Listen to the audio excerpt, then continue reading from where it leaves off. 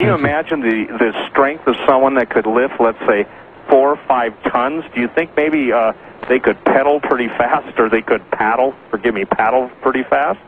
And, and again, you know, even if you just just uh, uh, assumed normal technology, it would it would be amazing. Then you get into the Vimana, V-I-M-A-N-A, the the flying ships of the Mahabharata, the Indian flying ships, and and you you even get uh, uh, Hannibal uh, when you know was basically there are there are records of Hannibal encountering you know flying platforms that battled him you know, sending him back. So, you know, the the point is, is that are all these guys just stoned out of their mind and drunk? I don't think so. You know, the point is, it's a, it's amazing to me that that people don't understand. Look, until the Rosetta Stone was found, that was basically a, a stone that uh, enabled scholars to read hieroglyphics because it translated between Greek, uh, the Demotic script, and hieroglyphics. You know, they had a tough time. And now, I believe the Rosetta Stone, I think that's what uh, my book Genesis Six Giants is quite candidly. There's no other book like it. There no, simply there is no other book like it. And I want to share with people that I, I guarantee them in the 479 pages, if their minds aren't blown and they go, "Wow," that I failed. But if I have, and, and I'm able to get them to think and to question, why are these things kept from us? I think it will help people to put history into perspective, and by putting history into perspective, they'll be able to see the future. You will get some skeptics who say, nah, you're nuts. Not true. Yep, I know that, and I deal with them all the time. But I say this look, I've done my homework, and if you want to argue over the history of these things, let's talk about that. But what skeptics typically do, out of either fear, anger, or jealousy, they go into what in Latin is called the argumentum ad hominem, which basically just means attack the writer, attack the man, but you can't really attack the argument because there's too much data. And we see that continuing all the time, and unfortunately, many incredibly gifted and talented men have been destroyed when they come up with anything that is not status quo. And my motto simply is this the, his, the status quo of history is an absolute matrix, and 90% of, of, of uh, prehistoric history and ancient history is a lie. What's your take on Zecharia Sitchin, the author of the uh, 12th Planet and some other related books? Well, first of all, I've read everything he's written, okay? Mm-hmm. I, I would say this, where Zecharia Sitchin is claiming that the Anunnaki made us, okay, and that uh, Adam was the first test tube child. Right. There are guys who are tremendous, tremendous scholars of the Semitic language. I am not one of them, okay? But there are the guys, and they question a lot of his interpretation. Michael S. Heiser, he's a PhD candidate, Department of Hebrew and Semitic Studies, University of Wisconsin, has basically uh, said, Zecharia, a lot of your investigation is true, but a lot of your word derivations are wrong. And I would say this: it's a lot. It's amazing to me. People don't want to. They want to throw God out, but they're certainly willing to accept the fact that maybe aliens genetically altered us or created us in the laboratory. Then my question to them is, who created the aliens? So if you get to first cause, when I'm saying this first cause, the uh, quote absolute uh, uh, uh, creative brilliance and genius of the universe, I say, uh, you know, Zecharia Sitchin's got some great stuff, but I also think that, and I can't, I can't uh, agree with him on the Anunnaki. Listen, according to the Sumerian pantheon, the Anunnaki were the seven judges of hell. Hell, they were the children of the god Anu, A-N-U, and and and, and they were contemporary with the seven fates or the Pleiades and you know, it's interesting because in the in the, you see how if it's if it's the seven judges of hell, and Zecharia Sitchin says those who came from heaven to earth, and and Leal was uh, one of the gods of the Sumerian. He was the child of An, An heaven, and the and and the son of of earth. Okay, excuse me, the the the mother earth, Ki Ki.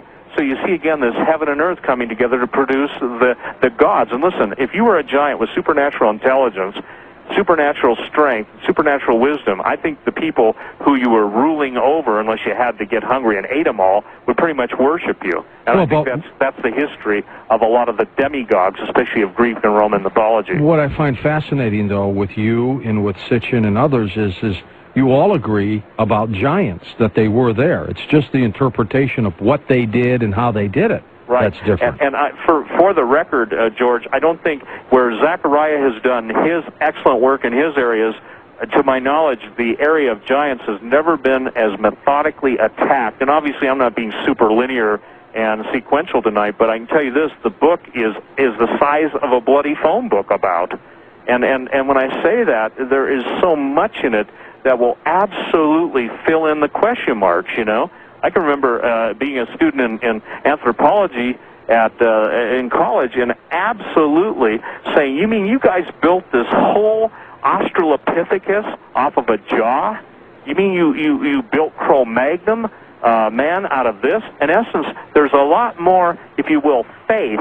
and uh, speculation than when you find a complete skeleton. Again, I would encourage people uh, who are on the internet to go to the website, uh, stevequayle.com. They can link to it through artbell.com and look at the chart. It's absolutely amazing. Then look at the skulls. And when you look at the skulls and you look at the chart, you go, wow, this stuff is in museums, and no one's ever said, how did these guys get such big heads? Well, you know, Stephen, you and I have talked before, and uh, there are many things you've pointed out that I go, wow, he's right on. I'm I'm going to jump out of the box for a moment here and agree with you wholeheartedly about the origin of the giants that they were there. I'm not sure I can believe that there's a secret group out there trying to genetically create them again. I hope that's not, not my own naivete here. Well, uh, you know, again, I don't think it's naivete, but can I tell you something? Absolutely.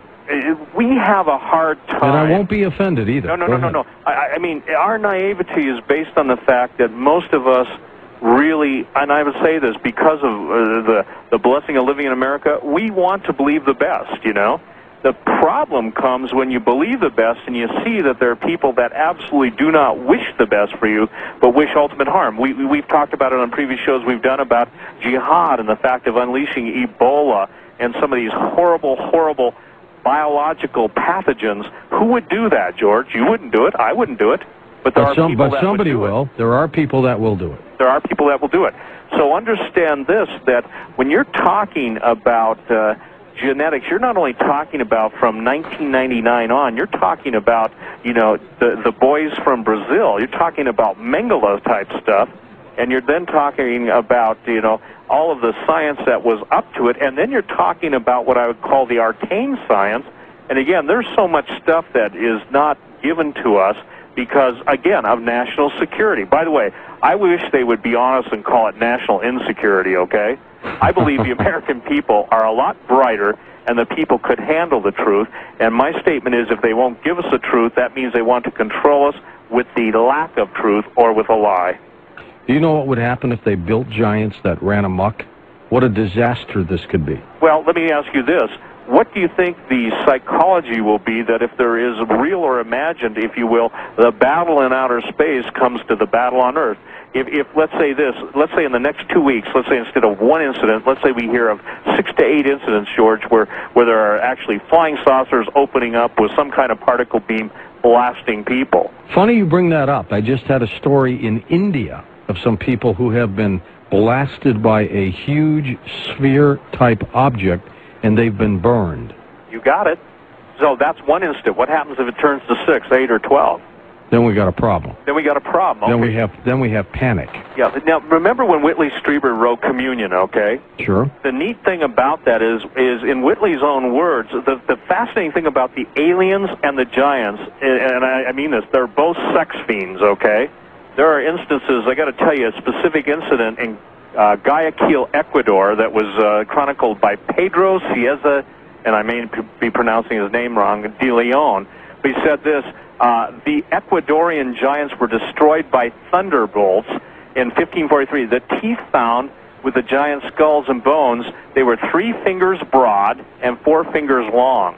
He said they were 18 feet tall. He said to, in those days you could actually see on the rocks where the thunderbolts had hit them, okay? The reason why they also record the thunderbolts is that these guys, being 18 feet tall, were uh, sexually going after the women, and I don't mean to be crude, but the bottom line is it killed the women, okay? And the point that I'm trying to make is, is that when you've got such specific chronicles And usually, you know, the guys doing the chronicling aren't out there trying to just uh, uh, fit the history to, to fit their uh, chief, or chief uh, belief. You've got incidents where some of these guys' molars make a fist, George. Some of their their molars was bigger than your fist. That's a big mouth. That's a pretty big tooth to pull if you're a dentist, isn't it? Yeah, and some of these guys had 40-inch feet. How big would someone with a 40-inch foot, you know? Yeah. I mean, I got news for you. There's no way to uh, even begin to fathom the stride of someone like that until you realize that they can outrun horses. Stephen, a quick question out of Kennewick, Washington, and this guy is dead serious. He says, My daughter has six toes on each foot. What does this mean? Is this uh, some kind of a genetic sign or, you know, Well, just, my, my just statement is if she doesn't have six fingers, six toes, and double sets of teeth, he doesn't have to worry. But it is interesting. Uh, a little baby that uh, is belongs to one of my ex-secretaries had six uh, fingers on one toe. Uh, excuse me, six fingers on one hand, but not six fingers on the toes. Unless they have toes, uh, if they had toes and fingers, I'd tell them point blank that she's got, you know, she's got something interesting going on with her. That is, I, that is bizarre, if It you can bizarre. imagine. A little Uh, girl with that. Right, and and again, you know, I know this sounds almost, uh, and I don't mean it to sound cynical, but when you talk about guys that had double sets of teeth, I mean, you're talking about uh, in the Old Testament talks about the lion men of Moab, and and you know, interesting by the way, he's calling from Kennewick. Did he did he send you that from Kennewick, Washington? Yes. you know, there's a fight going on over the Kennewick Man, which is interesting because in the United States there's a law that anything that is uh, found of antiquity is automatically assumed to be Native American. But when they ran the tests, the genetic DNA tests on Kennewick Man, they found out he was pretty much European in about 3,000 years, I think 3,000 to 3,500 BC, okay? Stay with us. Stephen Quayle, my guest. His book, Genesis 6 Giants. I'm George Noory, and this is Coast to Coast AM. Oh. This is Coast to Coast AM around the world, definitely around the country, as you listen to your favorite radio station. Stephen Quayle, my guest. I'm George Noory. Stephen, are you afraid at all of the Giants in the research you've done, or are you concerned about the future a few years down the line here? Oh, absolutely. I'm I'm concerned about the future because again, I believe that with what's going on and and obviously I believe at some point we're going to undergo whether it's a staged or an implemented or a coerced uh, you know uh, battle if you will with the uh, guys from from outer space. I think that we're we've got to have the knowledge. See, George, I believe with with what I've done in Genesis six, I, I've presented kind of I guess the key to unlocking history. And with the sister book that's uh, Aliens and Fallen Angels, The Sexual Corruption of the Human Race, it's taking away the fear factor. It's not adding to it. But I can tell you that what concerns me is, again, that people who uh, seem to be uh, preoccupied with the mundane things of life, when I say the mundane thing, just a day-to-day grind, when a lot of this stuff starts to happening, we're going to see a lot of people losing losing it. In other words, you know, it's going to flip them out. And I think if they have uh, the knowledge base and they see how all this relates in history, I think it makes you know what could be considered scary and uh, an unnerving subject matter. I think it can make it a lot more palatable. Let's face it.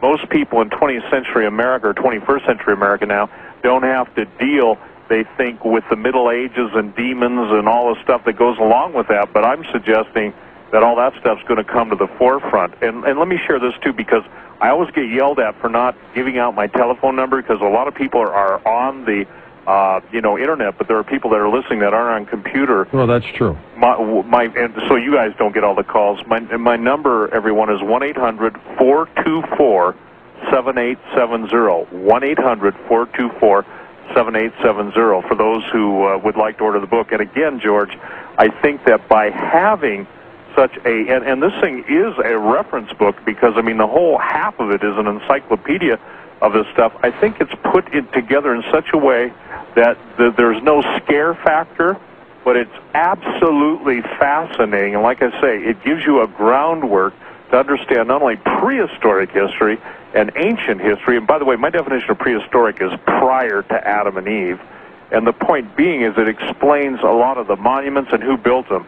Again, if you've got 10 guys that are 26 feet tall and they can each carry five tons, it makes 50 ton, uh, uh, you know, blocks of stone pretty, um, pretty as, you know, trying to come up with a certain amount of sleighs with a certain incline to the ramp and certain ropes. It's just nonsense the way that uh, uh, modern history and ancient history has been presented in modern times. First time caller, you are